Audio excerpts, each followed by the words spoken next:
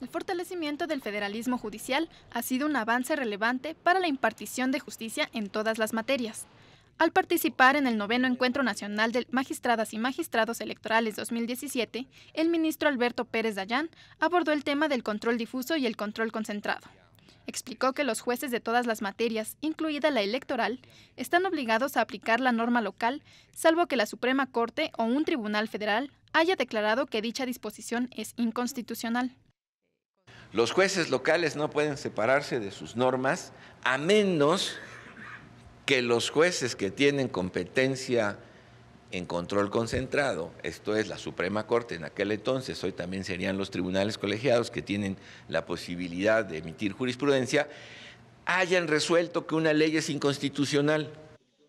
Sin embargo, señaló que en materia electoral hay aspectos que deben juzgarse tomando en cuenta las normas federales, pues el legislador determinó que cuestiones como la propaganda en radio y televisión o la fiscalización de los recursos se regulen a través de disposiciones generales emitidas por el Congreso de la Unión.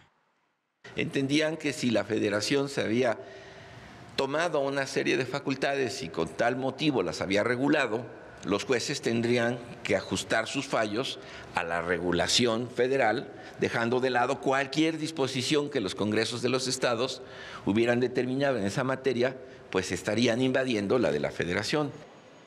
En cuanto al control concentrado, explicó que los únicos facultados para declarar la inconstitucionalidad de una norma es la Suprema Corte o los juzgadores federales. Sin embargo, indicó que existe la posibilidad de que un juez local pueda determinar no aplicar una norma que se considere inconstitucional, pero no estar facultado para expulsarla del marco normativo. La jurisprudencia durante 70 años eso indicó, todo juez local que tenga la inquietud de separarse de la norma que le rige en materia local solo porque cree que viola la Constitución, no lo puede hacer. Solo lo hará cuando sea declarado inconstitucional esa ley y eso le permite apartarse de ese texto. Mientras no sucede eso, por más que le parezca inconstitucional, no lo puede hacer.